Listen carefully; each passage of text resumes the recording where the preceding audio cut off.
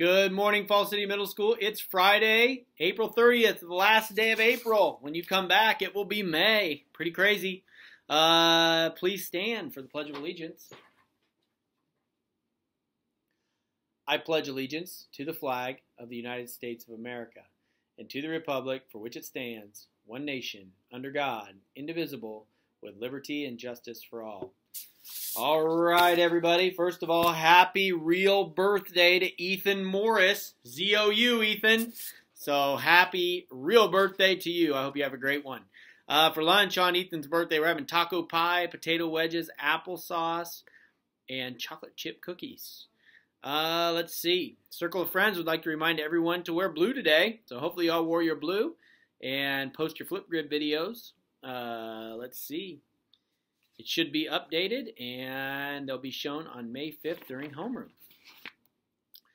Registration forms for the Barracuda swim team are with Mr. Lampy. So if you want to be on the swim team, see Mr. Lampy by today. Next up, let's see, practices for any eighth grader who that would like to audition for high school show choir will begin Tuesday, May 4th at 7:40 a.m. in the music room. Please use the north door by the music room.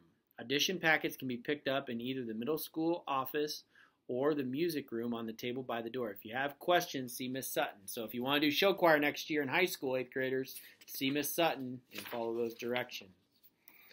Uh, let's see, here we go. Um, from Miss Haynes the volleyball camp forms that were handed out in homeroom are for the camp to get ready to play junior high volleyball, not actually signing up to play in the fall.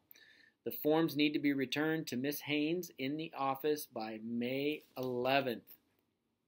And we got two AOKs. The first one is going from Miss Haynes out to Tate Wilcox, Bailey Timms, and Blakely Sells.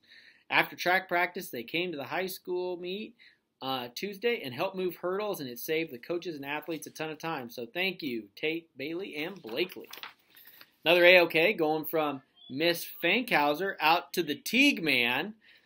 Teague Man, every morning lately, when he's told which room to go to, he says thank you. He doesn't have to say anything, but will always acknowledge that he was spoken to. This is a good communication skill to have. Good job, Teague. And finally, your words of wisdom for the weekend. It's about bad language. Ooh, this is a good one because we've heard a lot of bad language lately. Have you noticed how much bad language there is in movies and videos and music? Back in the olden days, when your parents and teachers were teenagers, you never heard bad language on TV or the radio or in the movies. It was considered offensive. In other words, hearing a lot of cursing and bad language upset most people. Now listen to these ancient words of wisdom. Speech is the mirror of the soul. As a man speaks, so is he. In other words, the words we speak are a reflection of who we are. It makes you think, doesn't it? Today, if you hear bad language, think about the words, what the words are really saying about the person using them. If you catch yourself using bad language, ask yourself this Am I the words I speak? With something to think about It's Mr. Bangert, make it a great day or not, because that choice is always yours. Have a wonderful weekend, everybody, and I'll see you in May.